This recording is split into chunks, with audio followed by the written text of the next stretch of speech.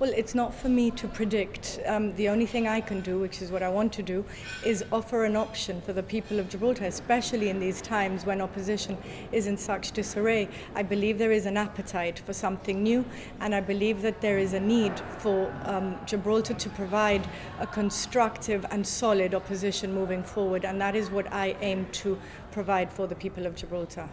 What would you say to the argument that you should step down and stand for re election as an independent candidate? I would say that, firstly, if you look at the Parliament Act, it's clear that you get voted in by name, and therefore I have no problems with my conscience remaining in my seat, primarily because I work very, very hard for the people of Gibraltar, because I'm constantly, daily inundated with constituents who I see, who I listen to, who I serve, who I then interact with government in order to help many vulnerable and needy citizens of our society. And it would be in my conscience, I wouldn't be able to sleep right if I didn't serve these people and if I left um, my duties as an opposition member who is clearly busy and in need, especially in a time right now when the opposition itself is completely fragmented. I don't want to give up on the people who seek my help. You've stated you're forming a new movement. Are you approaching people towards this?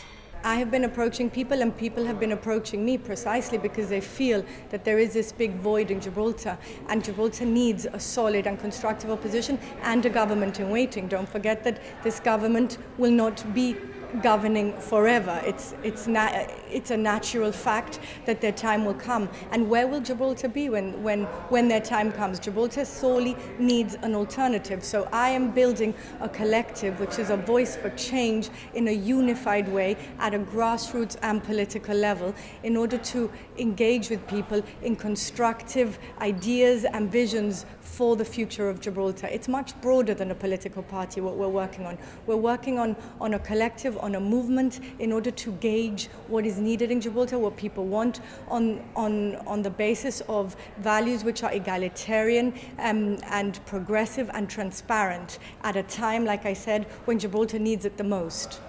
Can you give us any names? I'm, I'm not at liberty to say at the moment, but very soon you will be hearing news that we are coming out as a collective and we will, we will be providing this option for the people of Gibraltar moving forward and from there we will take the view as to how much appetite there is in order to move forward to the next electoral campaign. What is the political ethos or ideology you envision for the movement? Well, the fact that you've had mainly two parties in government for the last 20 odd years, and they have been, there has been so much antagonism between the two sides that I think moving forward to the 21st century, we need, and with Brexit and all the other things that are going on in Gibraltar in our economy, diplomatically, we need a, a, a unified vision for the 21st century, something that captivates the hopes of Gibraltar's electorate and especially the new generation, which very much feels disenfranchised with the current political climate and deserves a new voice, a voice of reason, a voice of collaboration, a voice of unity, a voice with, with progressive and new ideas for Gibraltar. Would you be the leader?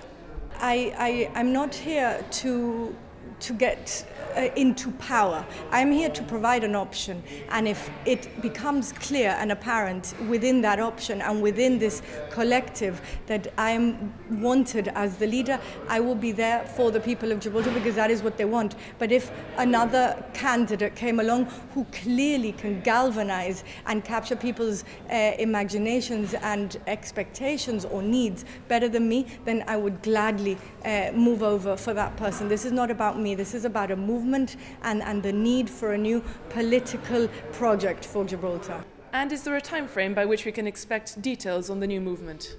Um, within the next quarter, you should be listening and hearing to our, our message and our project.